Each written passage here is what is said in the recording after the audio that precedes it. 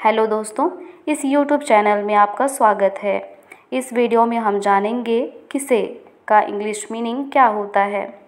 किसे का English meaning होता है हुम हुम इसे हम एग्ज़ाम्पल से समझते हैं। Example he likes to know whom you have met उदाहरण, वह यह जानना पसंद करता है कि आप किसे मिले हैं। इसी के साथ इस वीडियो में बस इतना ही। अब आप मुझे कमेंट बॉक्स में बताइए, आपसे मिलकर अच्छा लगा, का इंग्लिश मीनिंग क्या होता है। Thank you